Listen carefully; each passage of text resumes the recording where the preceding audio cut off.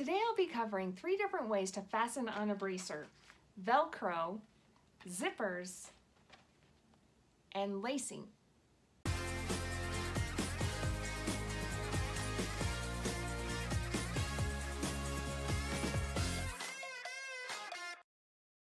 If you haven't seen my previous videos on how to give foam a leather texture, how to paint it to look like leather, and how to emboss it, I invite you to check out my channel and find those videos. I'll link them above. In this video, we're going to talk about three different ways to fasten on a bracer. I'm going to start with Velcro because that is maybe the most common and easiest way to fasten on a bracer. Now you may be tempted to buy the pre-stick Velcro and you're just going to put one on one side and the other on the other side and stick it like this. The problem with that is, first of all, I don't recommend the pre-stuck Velcro because it just doesn't stick well to foam. And as you wear your cosplay and you start to sweat, that stuff is gonna come right off. Second of all, the issue is bulk. See how thick and bulky that is around your wrist.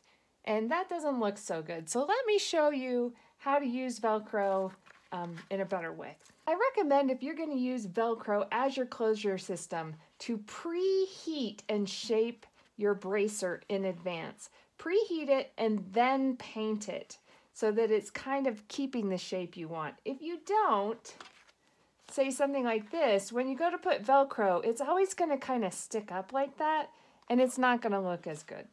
So add heat.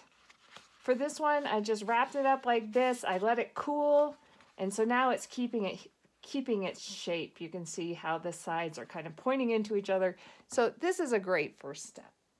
The second thing I recommend is to solve the problem with it being too bulky is take a thin sheet of craft foam and glue it under here so we're going to have a shelf to put the velcro on. So that's going to take away a lot of the bulk.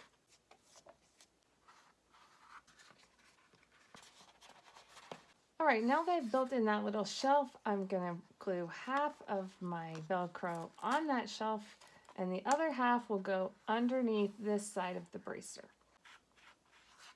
I'm using contact cement. That's just my glue of choice when I'm working with foam. Make sure to use this in a well-ventilated area. You could also just use hot glue. I generally like the uh, pokier side to be facing upward that's just, if I'm wearing cosplay, it just kind of minimizes the chance of it snagging on my cosplay. But, you know, whatever you'd like to do.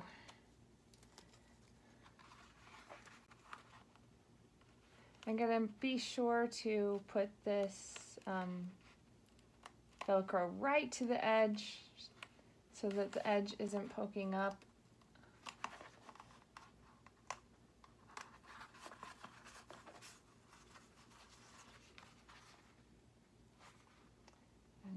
just so there's still a little ridge there but it's not nearly as bulky as it would be if you had uh, not used this additional piece.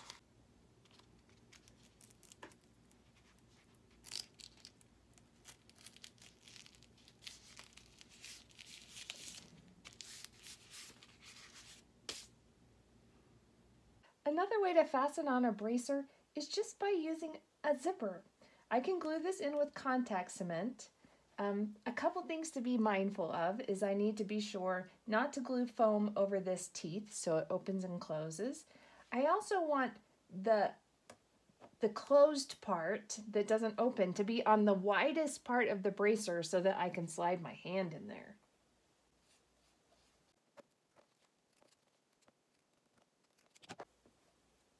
My contact cement is dry. Now leaving the zipper closed, I'm going to carefully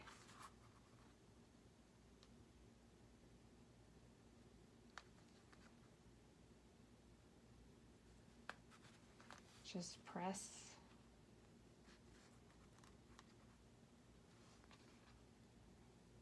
making sure that I leave that millimeter or two that the zipper will need to open and close.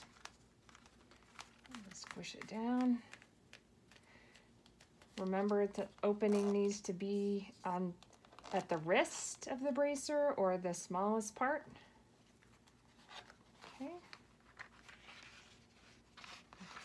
Now this is where I need to be careful to line it up.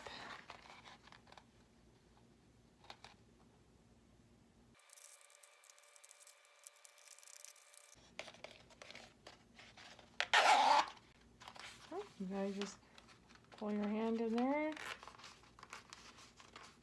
It's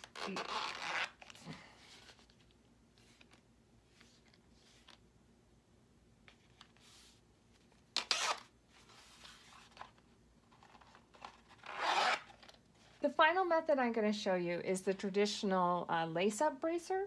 For this, I like to use these grommets they work for the thinner thicknesses of foam. The larger uh, thicknesses, they don't make grommets that deep, so you would just have to maybe paint on grommets. Um, I think grommets are critical if you have like the two millimeter foam so it doesn't rip through. Um, to make grommets, you'll need to buy, they also are known as eyelets. You can buy them generally in the Sewing Notion section. You'll need the eyelets, you'll need some sort of eyelet anvil, lots of kits come with this and sometimes you have to buy them separately. You're also going to need a way to punch holes in the foam. So let me talk about that next. Put in grommets, you'll need to first poke the hole in the foam. And here's a few different tools you can use to do that. Uh, for thinner foams, you can actually just use a hole punch. Also, um, different kinds of leather punches. For these um, leather punches, they're actually not that expensive. And I don't even use a hammer with them. I just kind of push and twist. Um, those work really well. You can also use just a small sanding barrel on a uh, rotary tool. Now let me show you how, if you want to punch a hole with a rotary tool, how you would do that. I've taken my um, scrap piece and I've put some other scrap pieces underneath it to bring it up off my table. And I'm just gonna punch it down like that. Let me show you.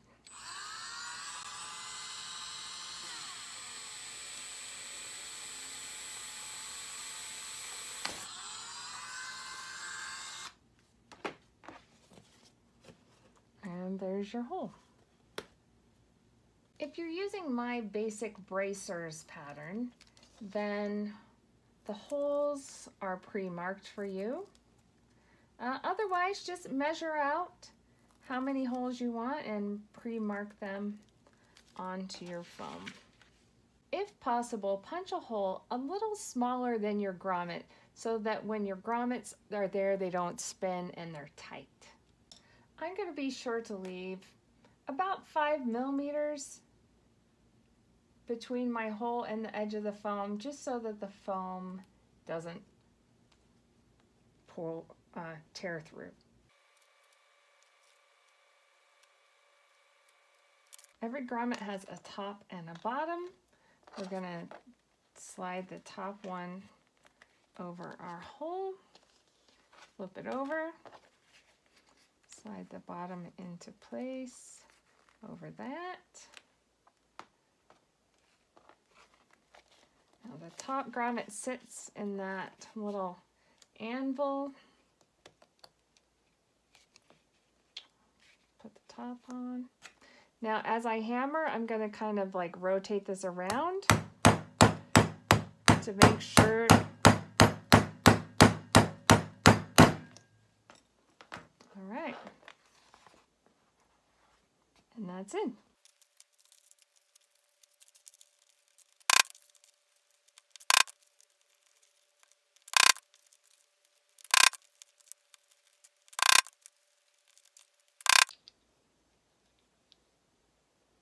Now, depending on the look you're going for with this bracer, uh, you could add an optional panel. This is just two millimeter foam that I painted the same color to look like leather. I kept this part unpainted so I could glue it in. I'm going to glue it in about an inch behind the grommets.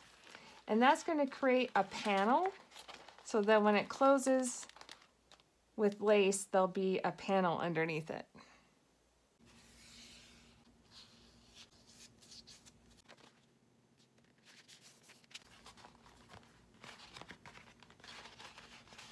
A bit of leather lacing would finish this off great. I don't happen to have leather lacing on me right now, but I do have this brown shoelace.